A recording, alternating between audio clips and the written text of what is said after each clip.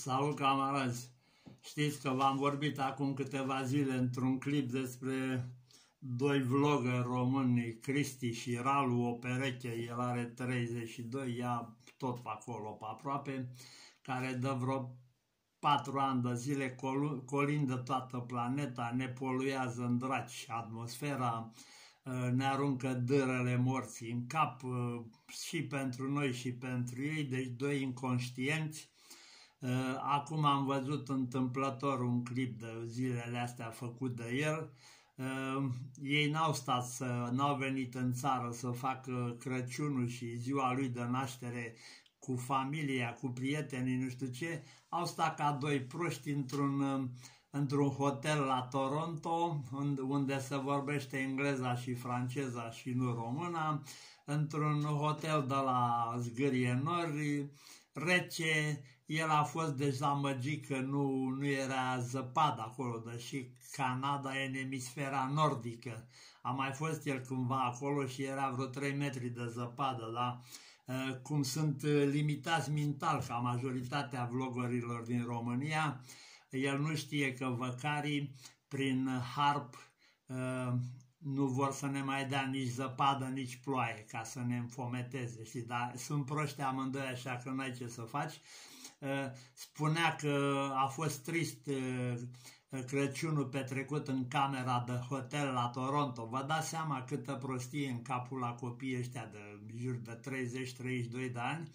dacă în loc să vină să-și facă concediu cu părinții lor, că, că unii nu mai au părinți și și-ar dori să mai fie în viață, ei au părinți și își bat joc de ei pur și simplu că ei sunt înnebuniți să ne arate nouă Patagonia, China, Maldivele și tot felul de idioțenii. Bă, țara noastră se numește România,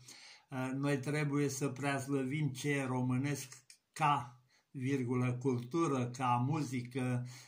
ca peisaje, ca orice și put, ei puteau foarte bine să călătorească și până Europa cu trenul, nu poluau nimic, bă, băgau reportaje frumoase, s-au dus ei să polueze cu avioanele toată planeta ca doi tâmpiți.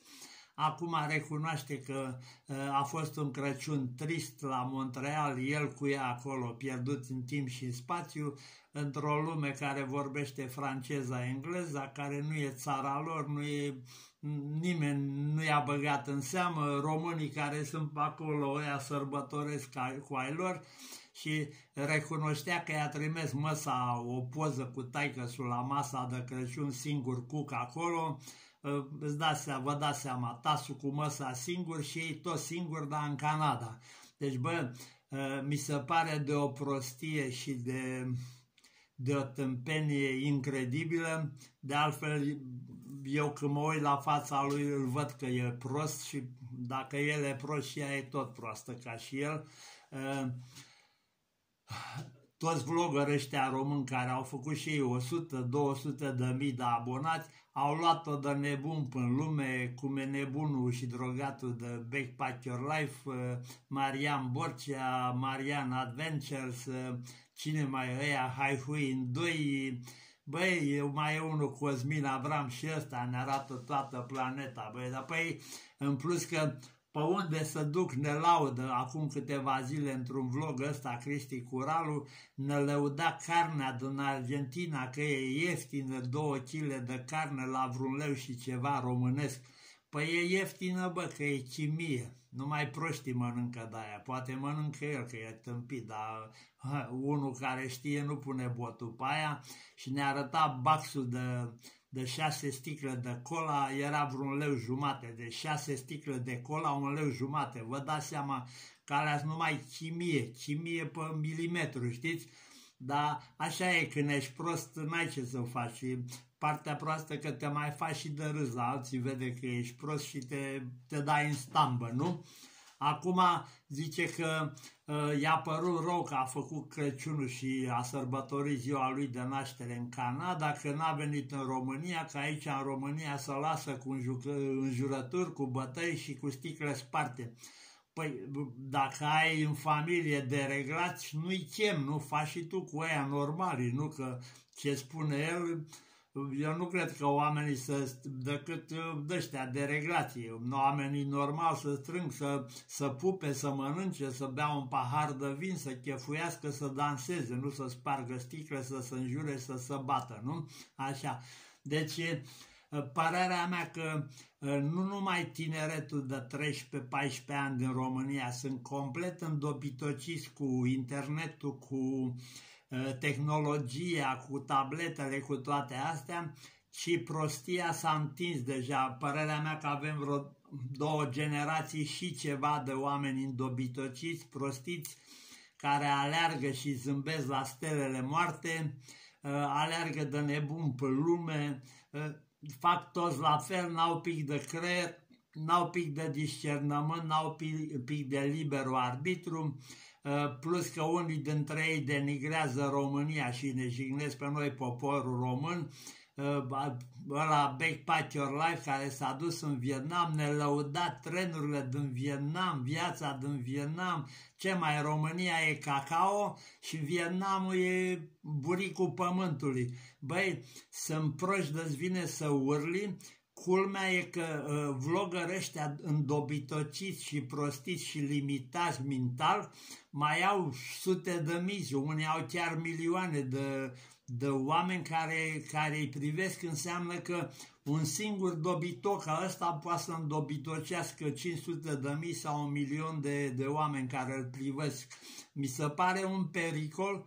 pentru că e foarte simplu, dacă ai 10 de ăștia în România, deja ți-au prostit o jumătate din populația țării, știți? Că oamenii nu-și mai dau seama. Li se par că e frumos, că ne arată un golf cu mare azurie, pe golful ăla e, o, e un neaht acolo și pe munte așa alături sunt patru căsuțe iluminate, arată paradisul. Nu e, băi, paradisul nu e în cărțile poștale, nu e în imagini uh, omul sfințește locul, acolo unde trăiești, acolo e paradisul. Noi care trăim în România, asta România e țara Maicii, grădina Maicii Domnului, uh, asta a fost civilizația primordială, pe Lazgă și înainte și după, aici a fost civilizația Cucuteni, civilizația Gumelnița, civilizații care sunt mai vechi de civilizațiile de la Sumer, prin care suntem manipulați și mințiți. Deci noi am fost primii, noi am fost primii pe planetă, de la noi a început totul. Dacii au colonizat până în Japonia și în China și în Orientul apropiat și îndepărtat și în partea vestică. La un moment dat țările vestice vreau să, adică nordice vreau să-și ia numele de Dacia. Deci eh, suntem prostiți și mințiți și vlogări ăștia români îndobitociți, prostiți și manipulați și, ehm, cum să zic, controlați mental, ăștia umblă până toată lumea, ne poluează planeta, că avionul cu, prin care ei se deplasează au și dârele tale în el, ne aruncă dâre mortale din ele, dar ei sunt prea proști să-ți dea seama, știți, adevărul că proștii mor primii, dar uite că ehm, din cauza lor murim și noi mai repede, știți? Deci m-a apucat o scârbă și o silă de indivizi ăștia de Cristi și Ralu, nu, ne mai vorbim de Backpack Your Life și de ăia de Cosmin Avram, Hai Hui în doi, Marian Borcea, Marian Adventure și câți ori mai fi pe acolo, bă, m-a apucat o scârbă și o greață de, nu pot să vă zic, trebuie să-mi iau un kil de lămâi ca să întreacă scârba și greața, știi? Așa, băi, oameni fără creier, oameni care n-au un pic de mândrie românească, un pic, un pic de... Uh, cum să zic așa, de demnitate, băi, că am dat uh, uh, oameni care au luat premiul Nobel, Nobel, am dat pe George Enescu, pe geniul Constantin Brâncuș, pe Nicolae Iorga și alții și alții, Ciprian Porumbescu și pictor de renume mare și fizicien și aviator cu duiumul. Am dat, știți, am fost pionier, noi am deschis aviația pe planetă și proști ăștia să duc și denigrează și înjosez România și poporul român Pentru mine sunt niște inconștienți, niște trădători de neam și țară, niște hahalere, cum spune Becali, niște javre care ar trebui să stea închiși pe un peșter ca ăia de Neandertal. Vă aștept la comentarii cu părerile voastre. Rămânem precum catarii umăr la umăr prin viață. Vă pup!